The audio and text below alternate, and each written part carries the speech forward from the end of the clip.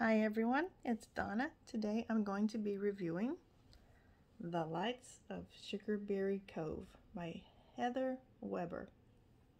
This is a romance with magical realism and so much more. I can't wait for you to hear what this definite read book is about.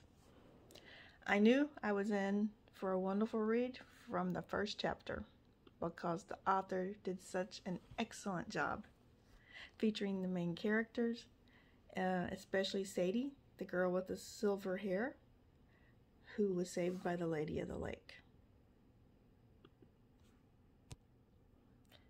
Now I am testing out a teleprompter, so bear with me as I get used to my speed. Alright, back to The Lights of Sugarberry Cove. I love when magical realism, especially, has down to earth stories and down to earth people because it makes the magical realism believable enough so that you can also believe in magic because the stories and the characters are so relatable. I like when they have telltale signs or markings that signify a major transformation in their lives and sometimes uh, if they've been brought back to life. I also love when characters are so brave and courageous that they can still fumble their way through their hero or heroine's journeys despite the hells and the traumas that they've been through and they still come out on top and they get to experience the ups and downs that we all do. So in The Lights of Sugarberry Cove, it has all of these things and so much more. I am now some of the midlife readers for my older and wiser time. So I am loving this new subcategory. I love this read. It focuses on those multi characters, the relationships, familial and romantic, that need to be healed, and a past that seems too difficult to overcome, but enough hope that divine intervention can have a hand in making everything right that has gone wrong. And you know me from my work as Walks in Spirit. So, as a psychic medium, I know how much true magic can affect us and the good that can come of that. If you're also a writer like I am, you need to know that the sample that's available most places in chapter one is one of the best and most interesting setups that I've ever seen for a book. She summarizes everything so well, so flawlessly. Um, I couldn't put it down after that. And she's able to combine all the story arcs and all the different elements so skillfully. It's beautiful.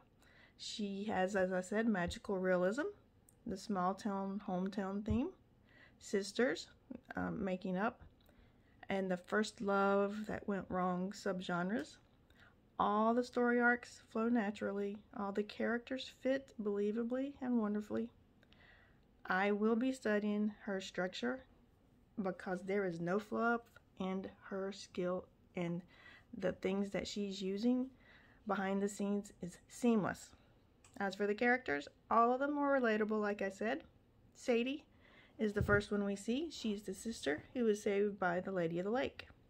She is on a quest to understand why she was saved. Layla is her sister.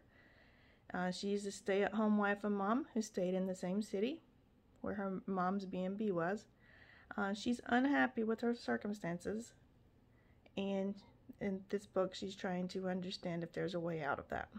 And their mother we also see from her point of view, she had to put her dreams aside when her husband inherited this place and decided to run a bed and breakfast. However, he died early and she was left a widow with two small children and a bed and breakfast to run. She did take over it and made it a success to provide for her family and to keep a roof over their heads as a single mom. This book explores the question of was the price for fulfilling her husband's dream too high.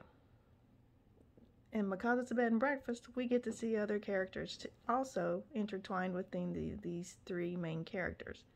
There are the guests, the workers, The Old Loves, and many more. They're once again all realistic in an interesting way. I can't wait to read more. So I am hoping that The Lights of Sugarberry Cove is the first in a series. So Ms. Webber, kudos as a reader and a writer. Two thumbs up.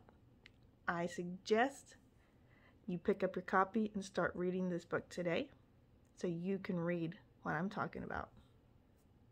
Take care. Talk to you soon. This has been Donna.